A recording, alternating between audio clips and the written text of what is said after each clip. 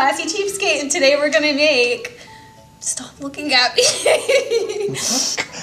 I'm making sure it's recording. Today we're gonna make.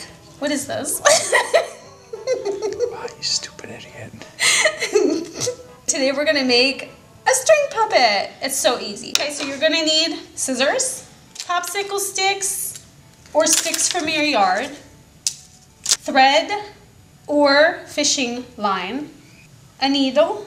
And that's it. Let's get the show on the road instead of laughing all day. Huh. Okay, I'm using a teddy bear, but you can use any stuffed animal or toy that you want. We're going to work with the arms, the head, and the legs to make this thing animated. Okay, so if you don't have popsicle sticks, you can use anything firm. Uh, even chopsticks would work. That would be great.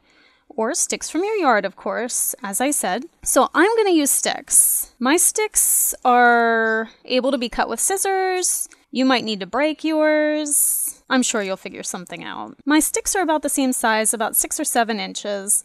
I am just going to place one stick up a little higher. It kind of looks like a cross. Then I'm going to take some twine or string and just bind them together real tight. Just wrap it and wrap it and tie it. Knot it several times. You want this thing to be secure. All right, now you need to cut five strings. I am going to use, definitely not twine, I'm going to use fishing line because I don't want people to see the strings. I'm cutting five pieces. Make them longer than necessary though because you're going to have to adjust the lengths accordingly. For instance, the strings that go to the legs are going to be longer than the strings that go to the arms. The string to the head is going to be the shortest string, but just cut them all long to start and you'll be fine. Tie one string to the bottom, a string to each side, and two strings to the top. The two top strings are going to connect to the legs.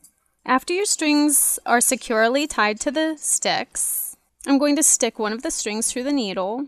This is the string that's going to connect to the head.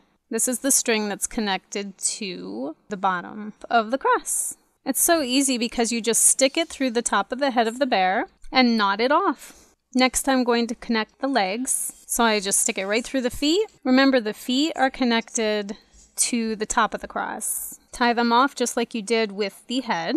And then finally, we're going to do the arms. You may need an extra hand at this part to make sure you get the lengths correct. Have somebody hold your stick, your cross, and then you can get your lengths figured correctly. You want the strings to be tight from the arms and legs, from all of the appendages to the cross. When you tie off the arms, make sure the arms are downward because otherwise you're going to have the arms of the bear sticking out to the side basically the whole time. If you don't have a needle, just go ahead and tie the strings right around the arms, legs, and head. Okay, so this is it, the end. Make sure you use strong sticks or popsicle sticks, nothing cheap or they'll break. Also, I hot glued here, here, here, blah, blah, blah, blah, blah, blah. hot glue the strings if you think they're gonna fall off, which is what I did. Okay, so to work this thing, um, the arms, you just go side to side, make noises. Eh, eh, eh.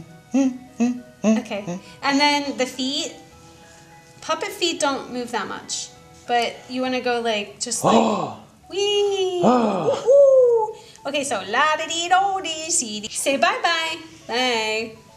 Wait, say bye bye. Say it. Say bye. Bye. Wait, say bye bye. Hi. Try it again. Make him say bye bye. Bye. Is it recording? Yes. Okay, wait, ready? Say bye bye. Bye. Wait, I'm not done. Thanks for watching The Classy Cheapskate. Don't forget to subscribe. Oh. Ooh. what are you doing? Doodly doo doo beep bop a dee doo boop bop bow.